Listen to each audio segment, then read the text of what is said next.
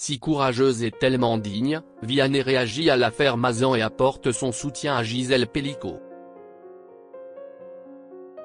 Alors que le procès des viols de Mazan bat son plein depuis quelques jours à la cour criminelle d'Avignon, et que la vidéo de l'interpellation de Dominique Pellico vient d'être diffusée dans les médias. Vianney, impliqué malgré lui, a réagi sur X à ces images et a apporté son total soutien à Gisèle Pellico. Est une affaire sordide, d'une horreur absolue qui agite et choque l'opinion publique depuis plusieurs jours?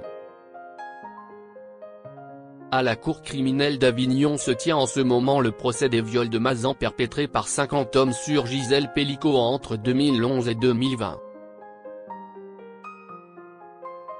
Droguée à son insu toutes ces années par son mari, Dominique Pellico, la victime, âgée de 71 ans, a subi les atrocités d'hommes de tous âges recrutés sur Internet. Son récit tragique a profondément marqué les Français, mais aussi de nombreuses personnalités publiques, telles que Nabila.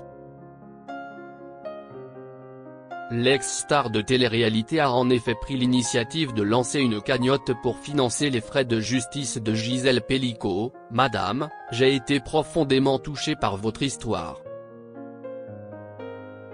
Je suis admirative de votre courage et votre force. Vous êtes un exemple pour toutes les femmes sur cette terre. J'aimerais que l'on puisse toutes participer à vos frais de justice et vous aider à traverser cette terrible épreuve. Au nom de toutes les femmes. Nous sommes tous avec vous du fond du cœur, avait-elle écrit. Un geste généreux qui avait permis de remporter quelques 37 000 euros en quelques heures, mais qui n'avait pas forcément plu aux avocats de la victime qui ont demandé la fermeture de la cagnotte. Dans un communiqué, ils avaient en effet expliqué que Gisèle Pellico préfère préserver la dignité et la sérénité des débats qui se tiennent actuellement devant la cour criminelle départementale du Vaucluse, précisant que la famille ne souhaite aucunement l'ouverture de cagnottes de soutien en ligne. Je ne sais pas quoi faire de cette info et une autre star française, en l'occurrence Vianney, vient de réagir à cette affaire sur X, anciennement Twitter.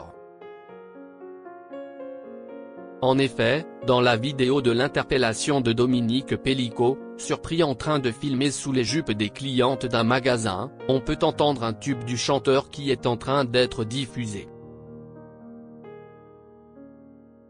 Le papa d'Edgar n'a ainsi pas manqué de s'exprimer ce samedi 14 septembre sur ce sujet, il y a ma chanson Beau Papa contraste absurde, qui passe dans le magasin quand il se fait attraper, et je ne sais pas quoi faire de cette info.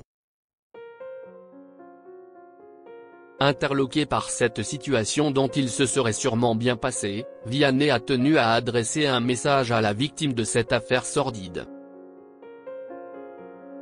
Ainsi, en profiter pour manifester tout mon soutien à Gisèle Pellico, si courageuse et tellement digne.